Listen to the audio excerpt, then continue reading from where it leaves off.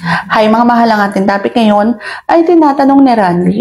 Ang tanong niya ay, kung gagamitin ka gabi-gabi, palagi ka bang malabasan? So yan ang ating pag-uusapan for today's video.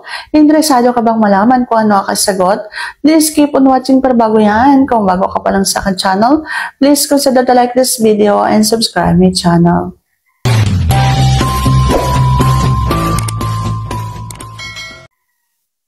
So palagi ka nga bang malalabasan kung gagabitin ka gabi-gabi?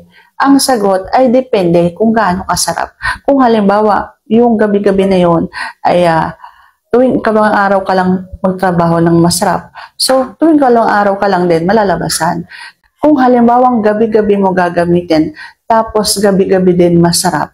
So araw-araw din masarap araw-araw din malalabasan. Sigurado yon.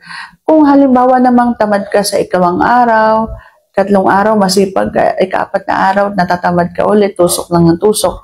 So, posibleng ikaw lang yung malalabasan at yung babae ay hindi. Kaya posibleng tuwing ikalawang araw lang din, malalabasan ng isang babae.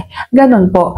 Pero kung halimbawa namang araw-araw kang masipag sa kama, araw-araw kayong nagtatrabaho sa isa't isa, siguradong gabi-gabi din malalabasan ang isang babae. Tuwing laban ninyo kahit hindi gabi-gabi, kahit anong oras, tuwing may laban kayo, kung masarap naman, bakit naman hindi? Sa tuwing masarap at nasasarapan ng isang babae, siguradong lalabasan niya ng kanyang gata.